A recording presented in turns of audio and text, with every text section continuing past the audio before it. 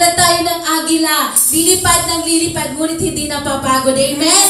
Tulad sa mga kabataan, lalakad ng lalakad, ngunit hindi napapagod. Gay gayon ang mga anak ng Diyos. Amen po ba? Kahit galing sa trabaho, naririto tayo upang sumamba, magpuri sa ating Diyos na buhay. Amen po ba? Thank you, Lord. Di ako napapagod na magpuri sa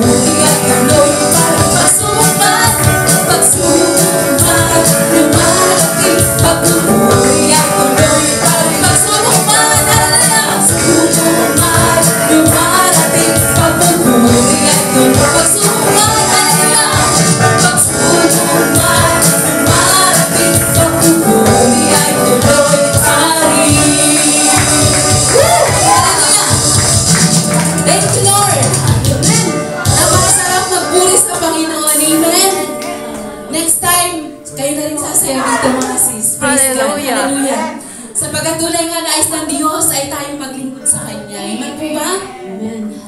Oh, we give you praise. We give you glory. We give you honor, O God. Patuloy ka naming pasasalamatan at sasambahin, Panginoon. Tunay nga na ikaw palagi, O Diyos, ang laman ng aming mga puso. Hanap-hanap ka ng